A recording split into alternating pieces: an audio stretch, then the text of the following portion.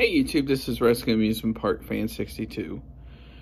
Back in the summer, I made a video called like Gemmy Industry Inflatables, talking about the basically the cheap fan inflatables and inflatables in general, the history. Well, I'd like to do a follow-up to that, but in a slightly unique way.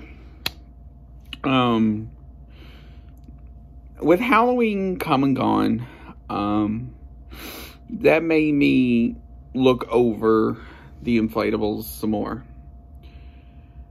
And it made me realize of inflatables in general.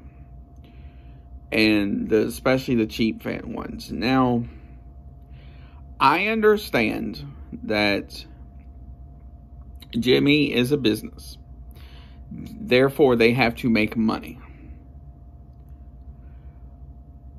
But if your products are not doing that good or having issues and you expect to sell more is really not such a good thing.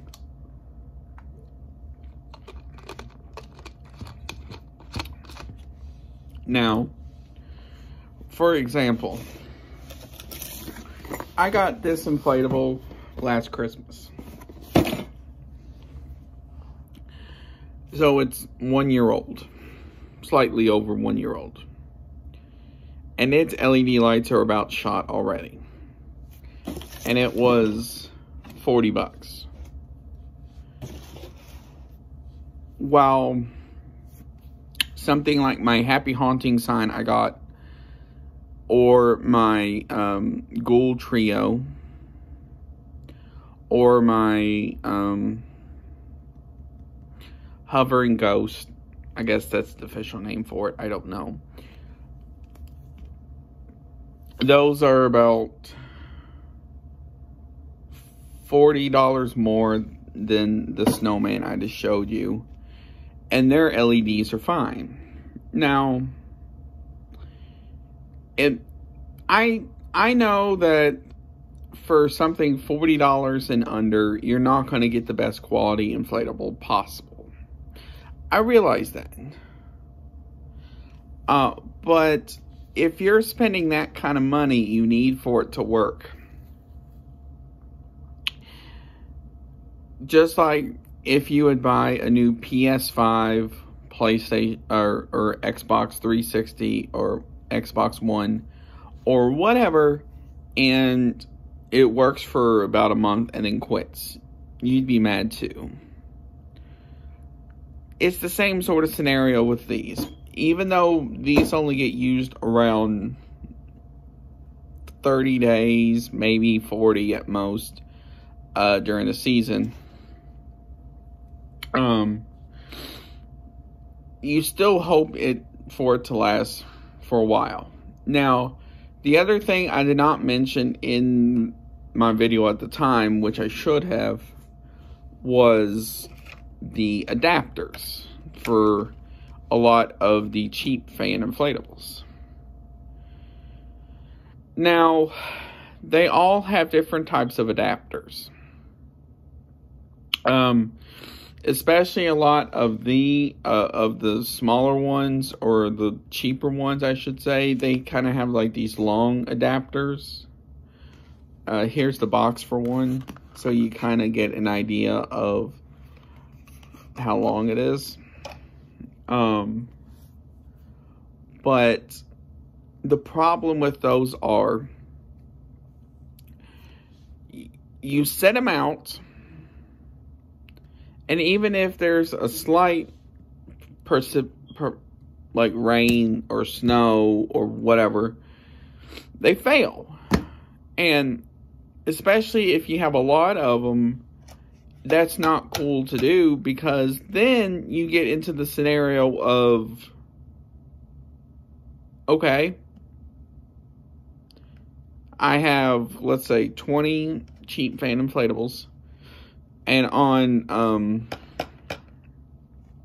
um, yardinflatable.com for one of them, about this size, is 28 bucks minus shipping and stuff. So you're telling me you have to spend 20, you have to buy 20 of those, assuming they're the same size, for something that is not going to last. And that, and to me, that is something that is not cool because you're spending your hard earned money on these just for them not to work. That to me is not cool because that is showing you, the consumer, that all they care about is money. They're just making it as cheaply as they can so they can make money off you. Now, the other thing that is starting to become a problem with inflatables in general are you can't really see it behind me, but I have two of my Halloween inflatables still out. Now you're like, okay, it's almost mid-December. Why are your inflatables still out? Good question. Well, during Halloween or before I set them up,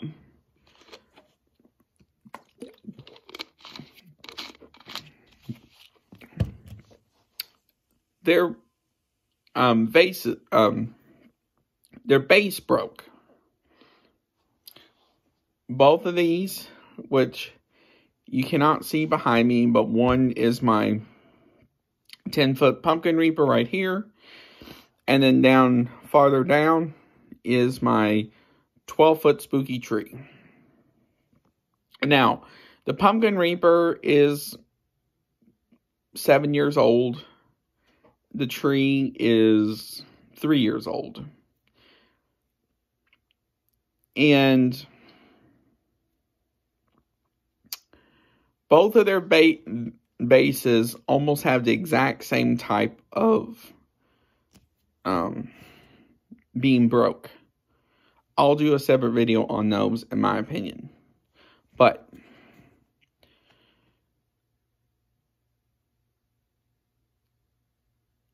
I understand they have to use what the cheapest materials they can to make money.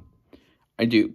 But the problem is, with you being cheap, it shows.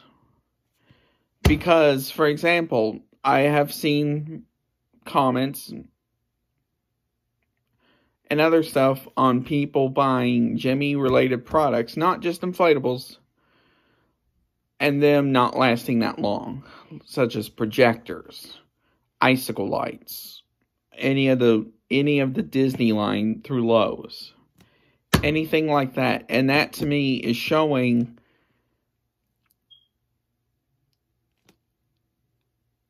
that Gemmy does not care about quality. They're just caring about your money. And to me, that is not right because you spend your hard earned money on these. Doesn't matter if you have one or 100. It, the amount of you have does not matter. What does matter is you spent your hard earned money that you, whatever your job is, on one of these just for it not to last. Now, I understand that, you know, in certain areas, they may get treated a little bit more differently due to uh, certain climates, such as wind or snow or rain or whatever. I understand that, but those are made for that type of thing. So, what I don't understand is why can't these have better quality even if the price is $2 more? I don't care about the price difference, what it would take for these to be better. Like, I have a um, pumpkin patch through airflows. Now, it's not, that is not a bad product. It, it has done some weird things, but I am ignoring that fact for a minute. what I cannot ignore is the fact that that airflows is five years old now, maybe. I'd have to go back and look.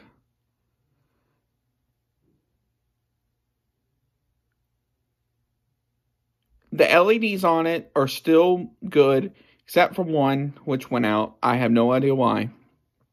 Um, but everything else still works on it. It has done something weird in the past, um, but it got fixed magically. What I cannot understand is why Gemmy's can't do that. Like, their adapter literally fixed itself within 24 hours. Where Gemmy's, if that would happen, it'd just be down. Like, my happy haunting sign that I bought, which was $80, I believe. It was not out not even two weeks before the adapter fried. And the thing was, we we had like a very small rain when it fried. I don't understand that because if those are if that is made to be outside, why do they fry? It, that just boggles my mind that something with a little per, little bit of precipitation can fry a whole adapter that is literally just a plastic is literally just plastic, a board inside, and two metal prongs. The board is to help plug it, you know, with the fan and stuff. But it boggles my mind that literally something like that can literally fry with it just being plastic. I my 2012 pumpkin through Walmart. That has been through since I've had it so many adapters, it's not even funny. Like the original adapter it came with fried within 2 weeks, maybe 3 because of a heavy rainstorm we had and I could not use it that Halloween and the following Halloween because one, I forgot about it, and two, I had I didn't have an adapter at the time. So it wasn't until 2014 I could or 15 I started using it again, but having to get inflatables like this to start using it again. And I am going to use it more over the following years as long as it can be used. But it boggles my mind that something like that will happen. The other thing that boggles my mind is, especially with the 20 foot inflatables through like at home and several other retailers how you they managed to put a fan that is slow and good enough for like a six or eight foot inflatable, but put it in a 20 foot inflatable. Like I talked to a at home employee last year and said those 20 foot inflatables took like two minutes to inflate or something like that. Now, that may not seem like a lot of time, but if you're the type of person that is on a time crunch and you expect to set something like this up in, let's say, five minutes or less, and it takes two minutes alone just for it to inflate, that leaves you three minutes, plus or minus, to stake it down. What is wrong with that picture? What I'm saying in this almost 15 minute video is we need Gemmy needs to get their quality under control and make the products like they used to instead of just being like, okay, it's just basically Chinese made crap that they know they won't it won't last. So, let's just throw it out there. What I'm saying is they need to get their quality under control and start making stuff like they used to instead of just having like basically making it like an expensive throwaway item.